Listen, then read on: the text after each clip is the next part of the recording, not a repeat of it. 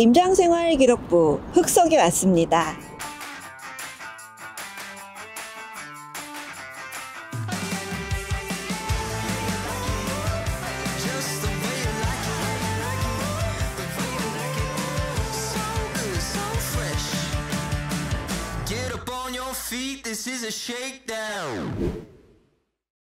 흑석은 비강남권에서 최초로 국평 20억대 시대를 연 주인공이죠. 상급지 점프 가능할까요? 오늘 흑석 쭉 보면서 단지도 보고 뉴타운 구역도 한번 보겠습니다. 가보실까요?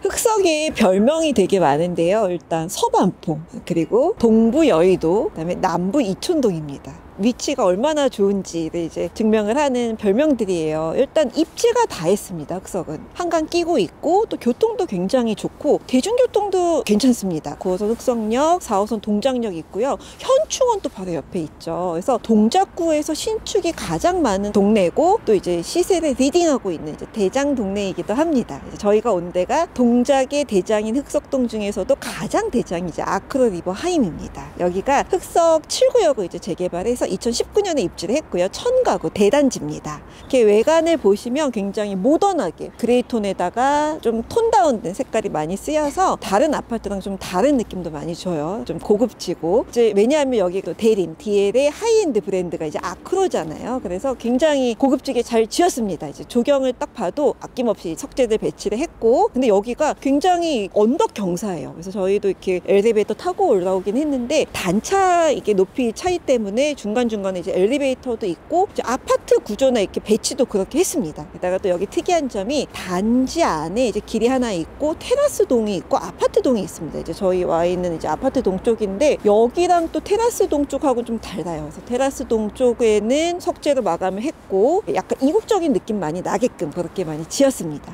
여기 이제 아파트 단지 특징 중에 하나가 한강변을 보고 있는 동 쪽에는 이제 커튼홀 등을 적용을 했습니다. 지하철역도 되게 가깝고요. 흑석역 에서 한 걸어와 보니까 5분 정도 걸립니다. 또 흑석의 좋은 점 중에 하나가 옆에 중대, 중앙대가 또 다 있죠. 중대 병원 있고요. 중대 부초, 그냥 흑석 초등학교 이제 바로 역 앞에 있고 중대 부중까지는 괜찮습니다. 근데 이제 흑석의 또 아쉬운 점 중에 하나가 고등학교가 없어요. 애매합니다. 그래서 어, 이제 옆 동네로 많이들 보내요. 근데 이제 요거는 시간이 해결해 줄 문제 같아요. 왜냐하면 이제 구구역, 뉴타운 흑석 구구역 옆에 흑석 고등학교가 신설이 되게 됩니다. 그래서 아쉬웠던 점들이 조금 이제 해소가 되는 거고 결정적인 또 아쉬운 점 중에 하나가 언덕 투성이에요. 동네 자체가 언덕 배기 동네여서 굉장히 이제 경사가 가파릅니다. 네. 그래도 이제 여기 좋은 위치에 자리 잡고 있는 대장 아파트고요. 평수는 20평대부터 50평대까지 있고 이제 국평이 제일 많은데 국평이 이제 2년 전에 25억 신고가를 찍으면서 비강남권에서도 우리도 할 수 있다 이렇게 보여준 주인공이에요. 근데 요즘에는 이제 19억대에서 20억대 왔다 갔다 거래 이렇게 되고 있습니다. 많이 내려가진 않았어요.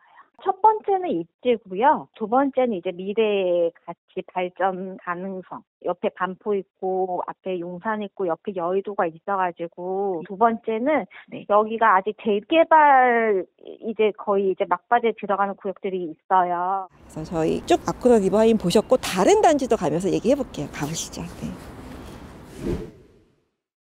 저희가 온 데가 흑석자입니다. 아마 기억하실 거예요. 작년에 아주 전국을 떠들썩하게 했던 무순이 로또 청약의 주인공 전용 59제곱미터가 83만 대 1 경쟁률 기억하시죠? 여기 흑석 3구역을 재개발해서 이제 작년 초에 입주를 했고요. 이제 흑석에서 가장 따끈따끈한 신축입니다. 너무 잘 해놨어요. 쭉 보시면. 근데 저희가 이제 흑석역에서부터 왔는데 어마어마하게 언덕입니다. 계속 이렇게 경사가 엄청나게 경사가 이어지고 그래서 이제 마을 버스가 대부분 다니고 이제 그거 많이 타고들 다니시더라고요. 근데 와 보니까 되게 한적하고 조용해요. 사실 흑석 뉴타운 중에서는 가장 외진 곳입니다. 가장 끝쪽이에요. 그래서 뒤에 보면 이제 서달산이 있고요. 그다음 에 여기 사실 도로도 되게 좁아요. 여기 단지 앞에 도로가 좁아서 이제 출퇴근 시간에는 굉장히 붐빕니다. 그렇잖아요. 이 동네 막히는 동네인데. 근데 사실 이 외지이고 엄청난 이 언덕의 단점을 이제 연식과 상품성으로 잘 극복한 단지 같아요. 저희가 보기에는. 쭉 보시면 너무 예쁘게 잘 꾸며놨습니다. 그리고 단차가 있어서 단차를 이용해서 중간중간에 이제 엘리베이터들이 있어요. 어쩔 수 없는 부분입니다. 이제 지대가 높기 때문에. 조경도 되게 잘 해놨어요. 보면 이제 소나무들 보면 딱 보이잖아요. 저기 한번 보시죠. 조경. 네.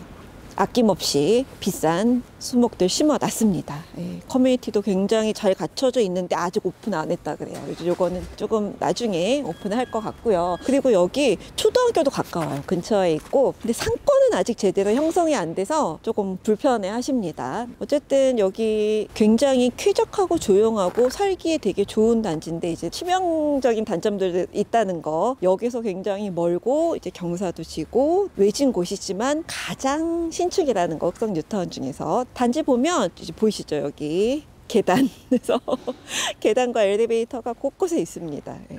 외벽이나 이런 거 굉장히 모던하게 잘 해놨어요. 회색 톤, gray tone, 차분하고 아무래도 그 흑석동 특유의 번잡하고 조금 복작복작한 느낌이 여기는 없습니다. 단지 안에 어린이집도 있고 알차게 잘 구성된 대단지고 너무 예쁘네요. 저희 와보니까 조금 더 가면서 얘기해 보겠습니다. 이제 계단을 가실게요. 응. 아, 그리고 여기가 정비 사업 과정에서는 조금 내홍이 있었어요. 그래서 이제 조합원들 마음고생이 좀 심했는데, 그래도 이제 흥행이 성공했으니 다행입니다. 이제 평형은 중소형 위주가 많고요. 여기 구평이 이제 16억 조금 안 되게 이제 거래가 최근에 됐습니다.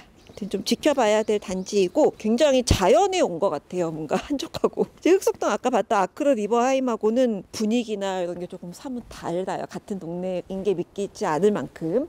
저희 이제 또 딴 데 가면서 얘기해 볼게요.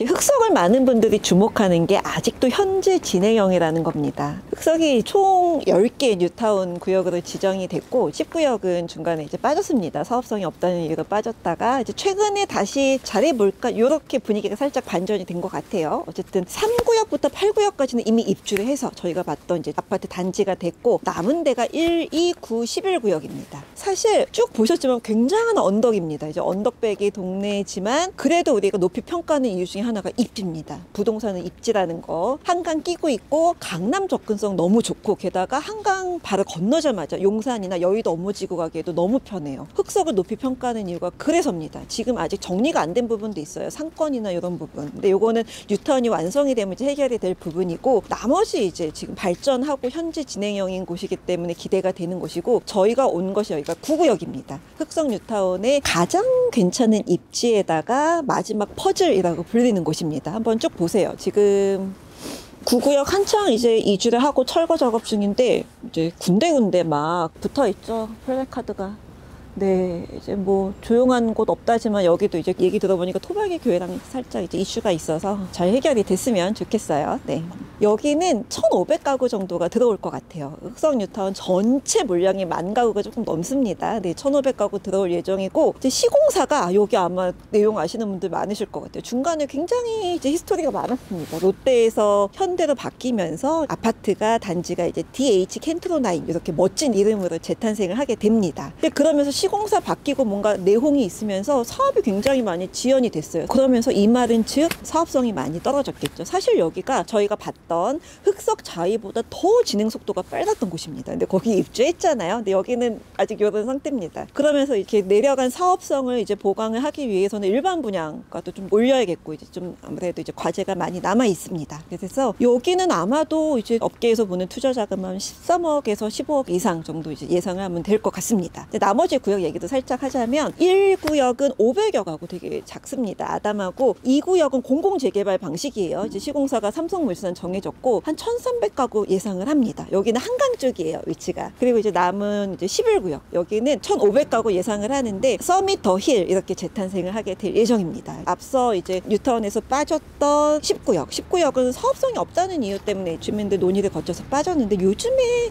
우리 다시 해볼까라는 분위기가 좀 형성이 되고 있는 것 같습니다. 거의 이제 다 완성된다는 전제하에 못해도 반포의 70% 정도는 가지 않을까요? 거의 지금이 거의 단값이거든요, 반포 대비해서. 그래서 이제 흑성 뉴타운은 치명적인 단점도 있긴 하지만 그만큼 상쇄할 만한 또 입지적인 강점이 있다고 이제 많은 분들이 얘기를 하세요. 그래서 오늘 저희 쭉 둘러보니까 아직 완성이 안 됐기 때문에 더 기대가 되는 것 같고 조금 더 가면서 얘기를 해볼게요. 가보시죠.